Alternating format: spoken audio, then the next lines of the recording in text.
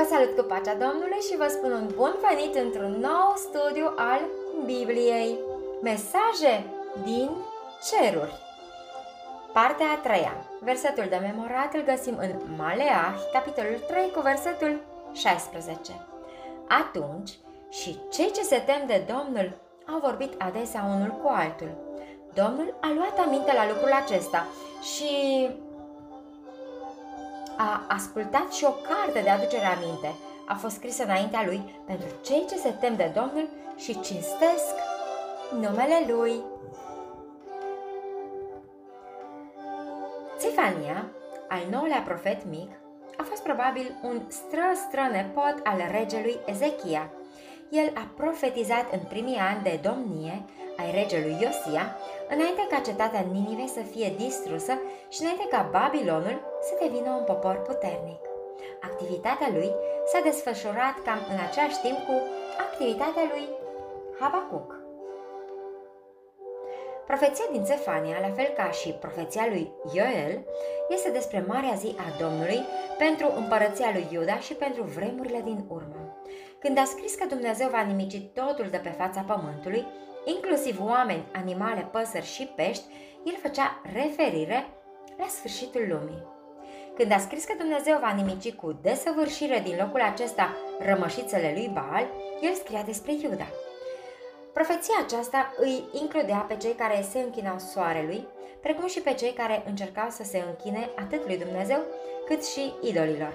Îi includea de asemenea pe cei ignoranți și pe cei care credeau că lui Dumnezeu nu-i pasă.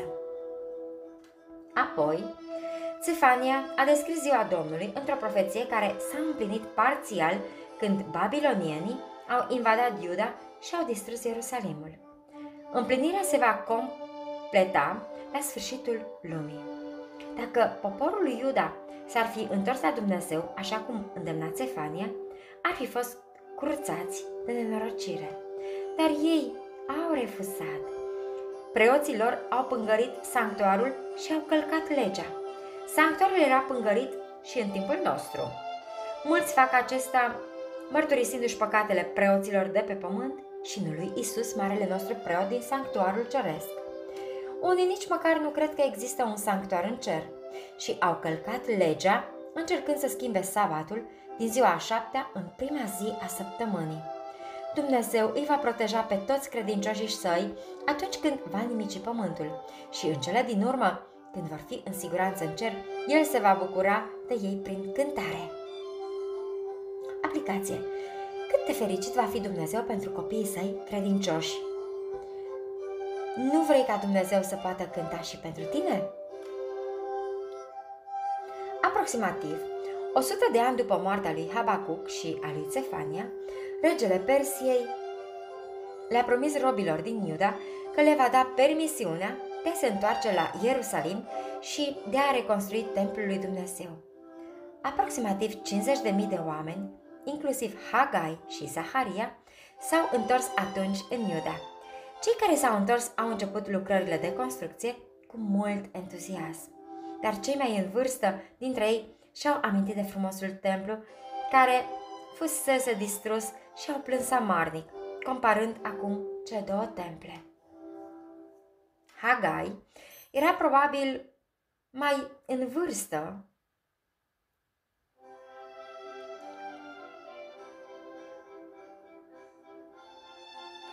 decât Zaharia. Poate că se număra și el printre cei care văzuseră templul lui Solomon, înainte ca acesta să fie distrus. Totuși, nu a intrat în polemici, susținând că acela era mai frumos decât noul templu, nici nu s-a alăturat celor care plângeau. Când dușmanii le-au oprit lucrările, oamenii au început să-și construiască propriile case și să aibă grijă de propriile terenuri. Atunci Dumnezeu nu i-a putut binecuvânta. Grădinile lor se uscau din lipsa de ploaie și nimic nu părea să meargă bine. Uite că avea nevoie de ajutorul de protecția lui Dumnezeu. Ce mesaj a transmis Dumnezeu? Haideți să citim Hagai, capitolul 1, cu versetul 2 la 10. Așa vorbește Domnul oștirilor. Poporul acesta zice, n-a venit încă vremea pentru zidirea din nou a casei Domnului. De aceea cuvântul Domnului le-a vorbit prin prorocul Hagai astfel. Dar pentru voi a venit oare vremea să locuiți în case căptușite cu tavan, când casa aceasta este dărâmată? Așa vorbește Domnul oștirilor. Uitați-vă cu băgare de seamă la căile voastre. Semănați mult și strângeți puțin, mâncați și tot nu vă săturați, beți și tot nu vă potoliți setea, vă îmbrăcați și tot nu vă este cald și cine câștigă o sâmbirie o pune într-o pungă spartă. Așa vorbește Domnul oștirilor. Uitați-vă cu băgare de seamă la căile voastre. Suiți-vă pe munte, aduceți lemne și zidiți casa. Eu mă voi bucura de lucrul acesta și voi fi proslăvit, zice Domnul. Vă așteptați la mult și iată că ați avut puțin. I-ați adus acasă, dar eu l-am suflat. Pentru ce? Zice Domnul oștirilor, din pricina casei mele care stă dărâmată, pe când fiecare dintre voi aleargă pentru casa lui.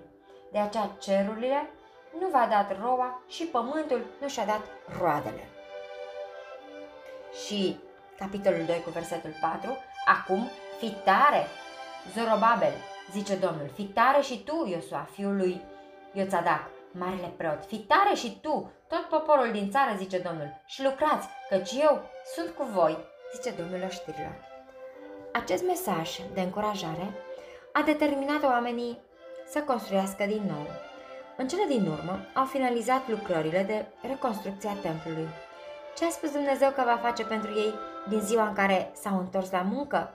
Haideți să citim versetele 18 și 19 din capitolul 2. Uitați-vă cu băgare de seamă la cele ce s-au petrecut până ziua de azi, până în a 20 și a 4 de zi a lunii de noua. Din ziua când a fost întemeiat templul Domnului, uitați-vă cu băgare de seamă la ele. Mai era sămânță grânare? Nici via, nici smochinul, nici rodiul, nici măslinul n-au mai adus nimic. Dar din ziua aceasta îmi voi da binecuvântarea mea. Dumnezeu a spus că de vreme ce și-au amintit de el și au reconstruit templul, el le va da binecuvântarea recoltelor și vor avea hambarele pline. Dumnezeu a mai spus că templul cel nou va fi mai glorios decât cel construit de Solomon. De ce? Deoarece, peste mai mult de 500 de ani, Isus urma să dea învățături în curțile sale și să îl glorifice prin prezența sa. Aplicație Știi tu că ești templul lui Dumnezeu? Viața ta va fi mai glorioasă și mai onorabilă avându-l pe Duhul Sfânt în tine. Vei da mărturie tuturor celor care îl văd pe Isus în acțiunile tale. Haideți să citim 1 Corinteni, capitolul 3, cu versetul 16. Nu știți că voi sunteți templul lui Dumnezeu și că Duhul lui Dumnezeu locuiește în voi? Prin Zaharia, Dumnezeu i-a amintit lui Zorobabel, guvernatorul lui Iuda, din acea vreme, care a fost adevăratul motiv al progresului lor rapid în reconstruirea templului. Care era acel motiv? Haideți să citim Zaharia, capitolul 4 cu versetul 6. Atunci, el a luat din nou cuvântul și mi-a zis, Acesta este cuvântul Domnului către Zorobabel și sună astfel, lucrul acesta nu se face nici prin putere, nici prin tăirie, ci prin Duhul meu, zice Domnul oștirilor. An de zile după finalizarea templului, Dumnezeu a continuat să trimită mesaje prin intermediul lui Zaharia. În primele șase capitole ale cărții sale, el descrie cele opt viziuni pe care le-a avut și, la fel ca în viziunile lui Ezechiel, descrie simboluri folosite. Poporul lui Dumnezeu fusese readus din Babilon în propria țară și acum Dumnezeu îi avertiza să nu devină ca strămoșilor. El îi îndemnase pe strămoșilor prin profeții săi. Întoarceți-vă de la căile voastre cele rele, dar ei refusaseră să facă asta. Acum Dumnezeu tângea să păstreze această nouă generație departe de căile rele ale părinților lor. Pentru a-i ajuta pe ei să înțeleagă dragostea lui Dumnezeu, a spus că atunci când cineva ne rănește, este ca și cum l-ar răni ochiul. Când avem ceva în ochi, ne doare teribil. Așadar, când cineva ne face rău și Dumnezeu este rănit, Dumnezeu ne iubește și ne avertizează. În Zaharia 2 cu 8 spune, cei ce se atinge de voi, se atinge de lumina ochilor lui. Am studiat deja viziunea lui Zaharia despre Iosua, marele preot purtând hainele murdare și fiind acuzat de satana. Haideți să citim din nou Zaharia, capitolul 3, cu versetele 1 la 5.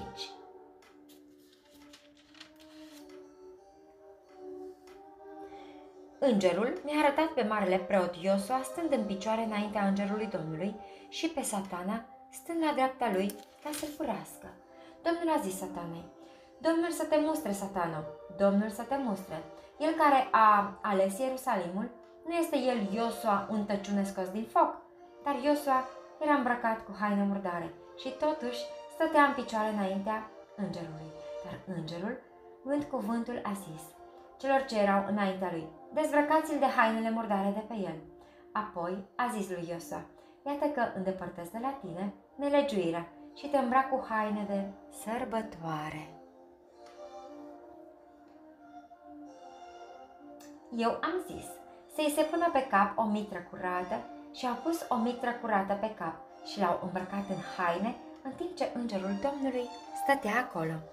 Încearcă să îți amintești ce ai învățat în studiul 6 și răspunde la întrebările care urmează. Pe cine reprezintă Iosua? Ce reprezintă hainele sale murdare? Ce reprezintă îndepărtarea hainelor sale murdare? Ce reprezintă hainele sale noi și curate? Dumnezeu i-a dat lui Zaharia și profeții despre Isus. Una dintre ele îmi menționează animalul pe care va călări Isus la Ierusalim. Haideți să citim Zaharia, capitolul 9, cu versetul 9. Saltă de veselie, fica Sionului, strigă de bucurie, fica Ierusalimului. Iată că împăratul vine la tine. El este neprihănit și biruitor și călare pe un măgar, pe un mânz, pe mânzul unei măgărițe. Alte profeții spun că va fi străpuns și rănit și când el va muri, urmașii săi se vor simți ca niște oi fără păstor. Toate aceste profeții s-au împlinit. Aplicație Isus se simte rănit atunci când copiii săi suferă. Este imposibil ca noi să suferim așa cum a suferit El pe cruce, când păcatele noastre l-au rănit și l-au ucis. El a crezut că s-ar putea să nu-l mai vadă niciodată pe tatăl său. Meditează la aceste lucruri în timp ce asculți Zaharia, capitolul 13, cu versetul 6. Și dacă îl va întreba cineva de unde vin aceste răni pe care le ai la mâini, el va răspunde, în casa celor ce mă iubeau, le-am primit. Lucrarea lui Zaharia a transmis multă încurajare celor care lucrau la templu. Acesta a fost terminat nu prin voința sau prin puterea oamenilor, ci prin Duhul lui Dumnezeu, lucrând în și prin ei. Dumnezeu i-a binecuvântat pentru că ascultaseră de mesajele trimise prin profeții săi, Hagai și Zaharia. Cu aproximativ 2 ani înainte ca templul să fie finalizat, câțiva bărbați s-au dus acolo să se roage și să discute cu preoții și profeții. Ce întrebare au pus ei? Haideți să citim Zaharia, capitolul 7, cu versetul 2 și 3. Cei din Betel trimiseseră pe Șarețer și pe Regemelec cu oamenii săi să se roage Domnului și să întrebe pe preoții din casa Domnului oștirii și pe proroci. Trebuie să plâng și în luna a cincea și să mă înfrânez cum am făcut atâția ani? Plânsul și postul despre care au întrebat era în memoria distrugerii Ierusalimului și a templului de la începutul robiei lor. Ce a spus Dumnezeul lui Zaharia să le răspundă? Haideți să continuăm cu versetele 4 la 7. Spune la tot poporul țării și preoților, când ați postit și ați plâns luna a cincea și a șaptea, în acești 70 de ani, oare pentru mine ați postit? Și când mâncați și beți, nu sunteți voi ce mâncați și beți? Nu cunoașteți cuvintele pe care le-a vestit Domnul prin prorocii de pe înainte, când Ierusalim era încă locuit și liniștit împreună cu cetățile lui de în prin prejur și când și partea de miază zi și câmpia erau locuite? Plânsul și postul lor deveniseră doar o ceremonie, la fel cum erau închinarea și jertfele lor înainte ca Ierusalimul să fie distrus. Ascultarea de mesajele lui Dumnezeu, trimise prin profeții săi, a fost întotdeauna mai bună decât jertfele sau postul. Ce voia Dumnezeu de la ei? Haideți să citim capitolul 8 cu versetele 16 și 17. Iată ce trebuie să faceți. Fiecare să spună aproape lui său adevărul. Judecați în porțile voastre după adevăr și în vederea păcii. Niciunul să nu gândească în inima lui rău împotriva aproape lui său și nici să nu iubiți jurământul strâmb, căci toate lucrurile acestea eu le urăsc, zice Domnul. Aceste versete sunt similare cu unele dintre cele 10 porunci, nu-i așa? Dumnezeu nu se schimbă, vrea să-i tratăm corect pe ceilalți și Zaharia a scris despre ziua Domnului. Acesta va fi momentul de după închiderea Harului, când șapte plăci teribile vor fi revărsate, înainte ca șaptea plagă să vină asupra celor răi, ei vor fi pregătiți să-i omoare pe copiii lui Dumnezeu. Plaga îi va opri cu un cutremur puternic și cu o grindină mare. Apoi norii se vor despărți și vor apărea pe cer două table de piatră. Citind cele zece porunci scrise pe ele, oamenii vor vedea că au fost înșelați cu privire la sabat și în mânia lor se vor întoarce împotriva celor care i-au înșelat și unul împotriva celuilalt. Dar Isus își va salva poporul de această distrugere, căci ei sunt pietrele cu nunii împărătești. Aplicație Poți fi și tu una dintre aceste pietre prețioase pe care Isus le va proteja în acel moment cumplit. Maleah a scris ultima carte a Vechiului Testament la aproximativ 100 de ani după ce Zaharia a scris profețiile sale. În acea vreme, în Iuda, locuia o nouă generație de oameni. Oamenii aceștia nici nu se închinau la idol, dar nici nu ascultau cu adevărat de Dumnezeu. Ei pretindeau că sunt copiii lui Dumnezeu, dar religia lor nu era decât o formă. Dumnezeu a încercat să discute cu ei prin Maleah de opt ori, dar în niciuna din aceste situații nu au arătat respect față de el. Când Dumnezeu le-a spus, v-am iubit, ce au spus ei? Haideți să citim Maleah, capitolul 1, cu versetul 2.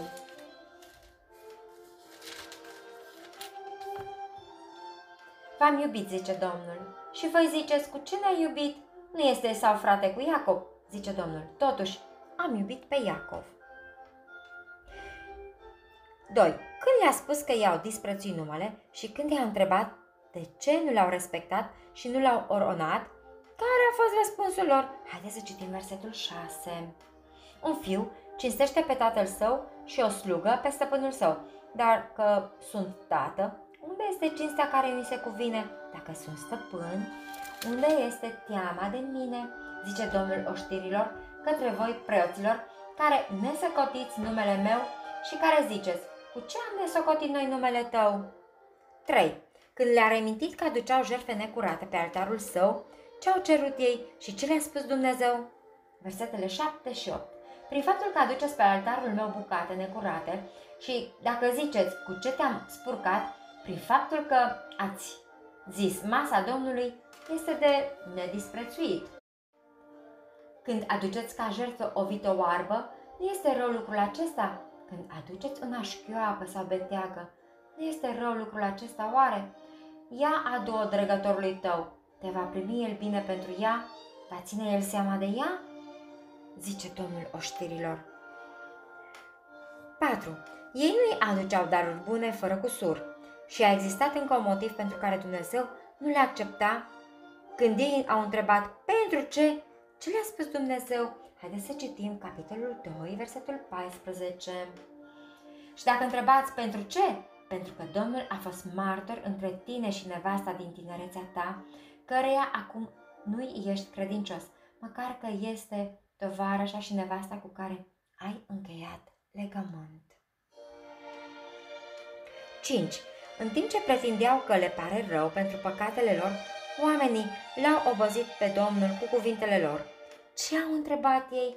Haideți să continuăm cu versetul 17. Voi obosiți pe Domnul prin cuvintele voastre și mai întrebați, cu ce l-am obosit? Prin faptul că ziceți, oricine face rău este bun înaintea Domnului și de el are plăcere. Sau, unde este Dumnezeul dreptății? 6. Când Dumnezeu i-a îndemnat pe oameni, întoarceți-vă la mine, ce au spus ei? Capitolul 3 cu versetul 7. Din vremea părinților voștri, voi v-ați abătut de la poruncile mele și nu le-ați păzit. Întoarceți-vă la mine și mă veți găsi. Și eu mă voi întoarce la voi, zice Domnul oștirilor. Dar vă întrebați, în ce trebuie să ne întoarcem? Mai apoi au spus că Dumnezeu a fost mulțumit de cei care au făcut răul. Când Dumnezeu le-a spus oamenilor că îl jefuiesc, ei s-au comportat de parcă nu știau despre ce vorbește. 8. Când Dumnezeu a spus, cuvintele voastre sunt aspre împotriva mea, care a fost răspunsul oamenilor? Haideți să continuăm cu versetele 13 și 14. Cuvintele voastre sunt aspre împotriva mea, zice Domnul. Și mai întrebați, ce am spus noi împotriva ta? Ați zis, degeaba slujim lui Dumnezeu și ce am câștigat dacă am păzit poruncile lui și am umblat triști înaintea Domnului oștirilor? Cu toate acestea, Dumnezeu i-a iubit și le-a promis că va trimite un mesager înainte ca Isus să vină.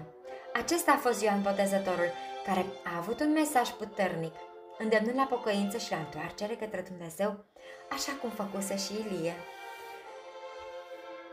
Aplicație Dumnezeu a promis că va trimite un alt Ilie înainte de ziua aceea mare și înfricoșată pentru a întoarce la el pe cei care vor asculta. Acesta este momentul în care trăim acum și această promisiune se împlinește acum, când mesagerii lui Dumnezeu învață pe oameni așa cum a făcut Ilie. Finalul Vechiului Testament Am studiat doar câteva părți din cele 16 cărți profetice ale Vechiului Testament. Mai sunt multe de învățat din ele și poți face acest lucru pe măsură ce vei continua să studiezi Biblia. Încearcă să îți rezervi timp în fiecare zi pentru studiul Bibliei. Toate cărțile Vechiului Testament sunt importante, dar unii oameni nu înțeleg acest lucru. Ei nu-și dau seama că Vechiul Testament este singura Biblie pe care o aveau oamenii atunci când Isus era pe pământ. Aceasta era Biblia pe care Isus și Pavel au studiat-o și au citat-o. Cărțile Noului Testament au fost scrise la mulți ani după ce Isus s-a înălțat la cer. Ai înțeles tot ce am studiat din cărțile profetice ale Vechiului Testament? Dacă nu, nu te descuraja. Nici Daniel nu a înțeles tot ce a scris și aceasta era doar una dintre cele 16 cărți. Nici unul dintre ceilalți profeți nu au înțeles tot ce a scris. Ei căutau să înțeleagă în mod special însemnătatea ceea ce scriseseră despre venirea lui Isus, despre moartea lui și despre minunile cerului și ale unui nou pământ. Acești profeți nu numai că au studiat ceea ce au scris ei înșiși, ci au căutat și scrierile altor profeți. Daniel a studiat și ceea ce scrisese Ieremia. Încercați să vi imaginați pe Zaharia tânjind să înțeleagă ceea ce scrisese Isaia despre omul durerii din Isaia 53. Profeților Vechiului Testament le-a fost descoperit faptul că scriau nu pentru ei înșiși, ci pentru noi, totuși, și au studiat profețiile pentru a învăța tot ce puteau. Haideți să citim 1 Petru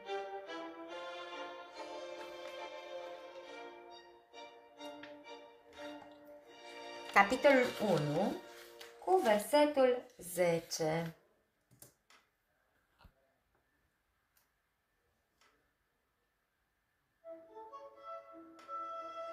Prorocii care au prorocit despre harul care vă va păstra vouă, au făcut din mântuirea aceasta ținta certurilor și căutărilor stăruitoare.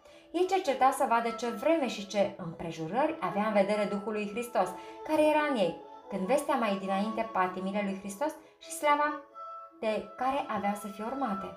Lor le-a fost descoperit că nu pentru ei înșiși, ci pentru voi spuneau ei aceste lucruri, pe care vi le-au vestit acum cei ce v-au propovăduit Evanghelia prin Duhul Sfânt, trimis din cer și în care chiar îngerii doreau să privească. Aplicație. De câte necazuri sunt scutiți oamenii lui Dumnezeu care studiază și acceptă profețiile. O, cât de mare este nevoia noastră de a studia. Așa că ia-ți timp și studiază în fiecare zi Biblia și mai ales profețiile, pentru că ele vestesc venirea lui Isus. Fiți binecuvântați! Domnul cu voi!